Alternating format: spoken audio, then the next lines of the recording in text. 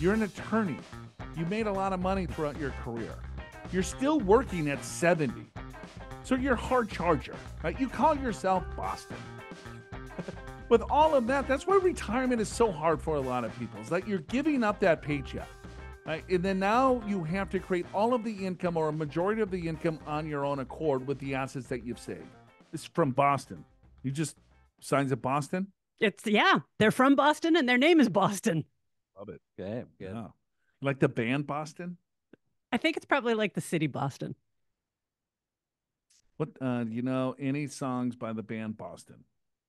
Oh, sure. I know several, but I can't remember their names. Yeah, no. They're they're Yes, I know that. more than a feeling. That's their big one. More than a feeling. You know. Yeah, I know that song. I just have to hear them. Yeah. All right. Hoping you'll spitball this on your podcast. Well, Boston, you're in luck. Here we go. I'm a new listener, and I noticed that people mention their cars and favorite drinks. And he's like, why the hell did they do that? it's stupid. Yeah, so why the is- Joe can get into the mindset of the listener. Yeah, I don't know how it started. I do because people used to say, "I listen to your podcast while I'm driving," and you said, "Well, you got to tell me what kind of car you drive." Or some people said, "I listen to your podcast while I'm having a beer." What Or kind while of I'm walking my dog. And then what kind of pet? So that's how that started. Yeah, because we need to know a little bit more. We want to put a face Yeah. to the, the question that comes in. Right. Yeah, I was talking to an individual who's like, yeah, I listen to a couple of your podcasts. Why do people talk about man? I was like, don't worry about it. if you're not part of the family, you don't know. Yeah, you have to go back 300 episodes, and we'll explain it. All right. So that's the reason, Boston. So we need I need to get in the mood. I need to understand, you know, hey, if you're driving, what are you driving? And then sometimes uh, we would just make it up. And I'd be like, oh, I bet this person drives a Subaru. Right. And lo and behold, he drove a Subaru. Subaru. Yeah. Or like a Ford F one fifty. That's the most popular car here on Your Money or Wealth. Ford F one fifties. Agreed. And I think um what's the most popular drink? Old fashioned. Old fashioned. Old pro- fashioned. Yeah, I love an old fashioned. and uh, and beer. Yeah, like craft beer. Craft a lot beer. of lot, lot of We're craft beer people. Yep. Um, a lot of not a craft beer person, I know you're not. but I will do an old fashioned. I will do that. You know, if you ever get a drink on the rocks, now everyone just puts it in like one big fancy rock. Oh yeah, I've seen this. Are you like a fancy rock person, or do you like to have multiple cubes? Me personally, I like beer. I don't have. Hmm. But when I do, I would like multiple cubes. I don't want the one. Yeah, you're. Hey, and I saw something on Instagram. I thought about you, Big Al. You did. It, it's a. It was a um, mugged, frosted mugged beer fridge. That's what I need. I was like, I'm buying that for my garage, and I'm gonna buy that for Big Al's I need one. frosted. So um, so beer we, mug. so we can actually put frozen food in, in our freezer instead of mugs. yeah. That'd be cool. Um. Okay, so let's get back to Boston here. So let's see. My fa- my wife drives a 2021 Volvo XC60. No, that's sexy. Safe, very safe. um, I drive a 2013 Toyota Rav4. Yes, I need a new car. Planning on getting one next year. A Rav4? They still make those? Yeah. No, this do. is from 2013. I know, but I know, but they don't still make those today, do they? And Yeah, aren't they the like kind of the small little hatchback kind of things? Yeah, they're smaller. Com- Well, because If, you're, if you're There gonna is a come in 2024 hot, Toyota RAV4. Boston, you need to drive a better car than a Rav Four. They are still making them. well, he's getting a new one. He's Yeah. he already. Uh, I think I that. dated a girl that drove a Rav Four. Yeah, It didn't last. didn't didn't work out. It did, no, it didn't last. Very long. Got it. Okay. All right, let's get into a story. Here's our story. I'm a 73 year old semi retired lawyer. All right, 90% retired. Work is very low stress. Oh, yeah. Earn about $55,000 a year, but could retire 100% at any time. Best not to include this income in any financial planning. Wife is 71, retired. Our finances, taxable in the bank, 1.6 million. Long-term capital gains and stock funds total $800,000. My IRA is 1.9 million RMD starting this year. Roth IRAs, 1.9 million dollars. Look at the big, It's amazing, right? Big Boston. 1.9 in a Roth. Wife has about 700 in a Roth. Yeah. Yeah, no wonder why life is stress free for you. Inherited IRA, wife's got about 20 grand. HSA 140 at a Vanguard, Transamerica variable annuity, $530,000, residence 1.2, no mortgage, total 7 million plus. No mortgage or other debt. Social Security. Mine and wife, annualized $75,000. Thank you, Boston. Of a very good long term care policy, wife does not have one. Our annual expenses for the last three years have averaged $250,000, including taxes. Big part of that, around 20% or $50,000, has been travel, something we will not last forever, in that we have splurged. I think that's supposed to be splurged. I like plurge. I like better. splurge too. Yeah. That guy's got seven million dollars. He can say whatever the hell he wants.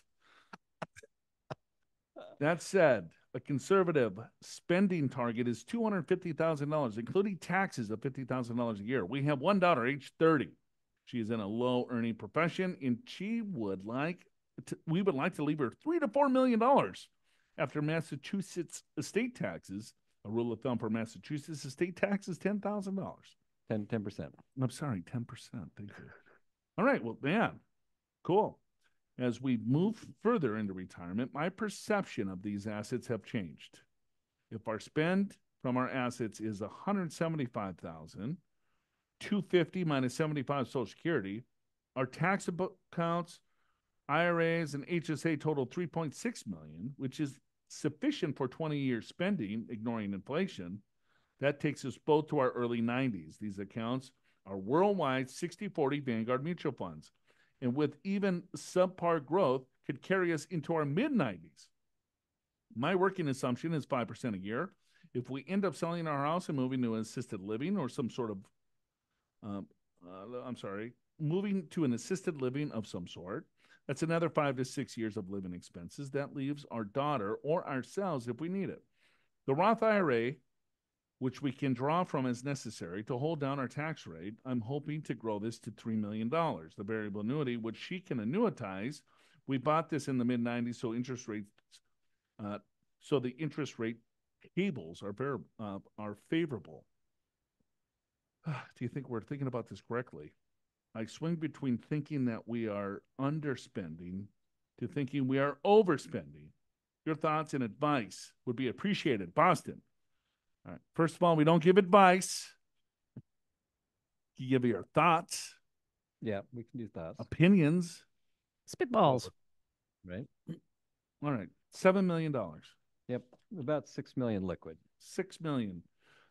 Uh, he's 73 years old. He's going to continue work at 55. He's got Social Security at 75. So that's $125,000 of income. He wants to spend 250. He needs 125 for the next couple of years. And then uh, 150,000 from there at 6 million. 150 into 6 is That's pretty low. I mean, if you take a 5% distribution rate, that's uh, 300,000, which is probably a fine rate at age in 70s. so he's peeling two and a half percent from the portfolio. Yeah. Yeah. So you you are um He's got a 60 40 portfolio over the next 30 years. That thing is going to grow in probably at 5%. You're going to pull 2.5% out. So 6% over the 20, 30 years at 2.5% is going to be a lot of money for your daughter. yeah, you yeah, it's going to keep growing. Plus the house, we haven't even included. We haven't even included the annuity. So uh, yeah, the, you're you can spend more if you want. But I think Joe, what he's thinking of is let's have the Roth IRAs, maybe the house that goes to their daughter. We'll just spend the other money, which is actually I think the right way to think about it. If you don't need the money, then the Roth is the best asset to pass to your daughter, to your heirs. Why? Because it's 100% tax free for them. There's no stretch IRA rule anymore, meaning that she'll have to, when she inherits it, she'll have to distribute it over 10 years. 10 years of a very high regular IRA could be pretty taxing for her or for any beneficiary for that matter. So I like the way you're thinking. I think you could spend more. You could you could spend a fair amount more if you want to, but that's your choice. It's up to you. You're spending a couple hundred. I mean, that's still a pretty good number, Boston. It, it's a, it's a good it's a good but, clip, but but you're not going to be spending that forever. But then you have to think about long term care. You got to think about that. I would just keep, continue to run the numbers as you're running it, and then just run different scenarios. Let's say zero growth, negative growth. Um, right? Just, but I think what you're going through is what every retiree goes through. You're an attorney. You made a lot of money throughout your career. You're still working at 70. So you're a hard charger, right? You call yourself Boston, right? And so, with all of that, that's why retirement is so hard for a lot of people. Is that you're giving up that paycheck, right? And then now you have to create all of the income or a majority of the income on your own accord with the assets that you've saved. And you've done a hell of a job saving, way more than most. And guess what? He's got 7 million plus, and he's still worried about this. He's still running the numbers, which is very, very normal. So, yes, I think you continue to do what you're doing. Just make sure that you're monitoring it. You have to look at this a little bit on an ongoing basis, not looking at the market every day. But I think if you have a 60 40 split, low cost Vanguard funds, you like Vanguard, that's fine. Right. And then, but just the distributions, where are you going to be taking the money? Do you want to continue to do Roth conversions because you still have how much money in retirement accounts? A, a pretty good amount.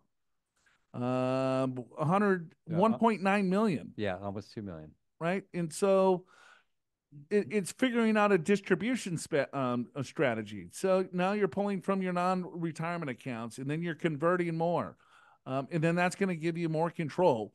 But if you want to look at strategies for you know healthcare down the road, you probably want to have money in a retirement account because of the tax deduction that you're going to get from healthcare will offset some of those costs. So I mean, there's all sorts of different things that you could button this thing up on.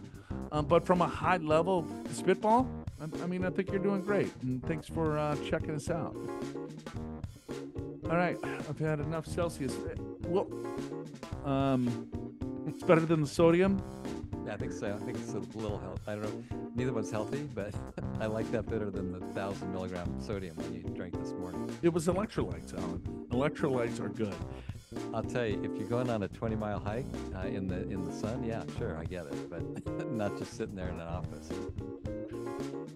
My That's- body that's- feels like I'm going on a 20 mile hike when I'm in the office. That's my two cents.